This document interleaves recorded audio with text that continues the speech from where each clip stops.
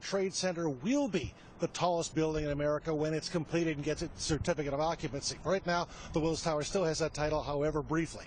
The Council on Tall Buildings and Urban Habitat, which is based here at IIT, made that decision based on the building's design and the significance of its height.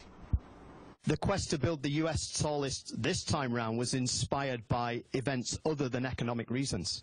That's the first time we've seen that in the US, let's be clear. Rising to an architectural top of 1,776 feet, One World Trade Center bests the Willis Tower that taps out at 1,451 feet. But it does so only because of its spire, which the Council on Tall Buildings and Urban Habitat says is part of its architectural design. The TV antennas on top of the Willis Tower don't count, the council says, because they are not permanent and can be changed or removed without affecting the original design of the building. The demotion matters little, though, according to Blair Kamin, the architecture critic for the Chicago Tribune. While this may seem a, a, temporary blow to the city's ego, it's not really a big deal. I mean, frankly, being the nation's tallest building is almost well, it, it just it, it's it's not like being the world's tallest building.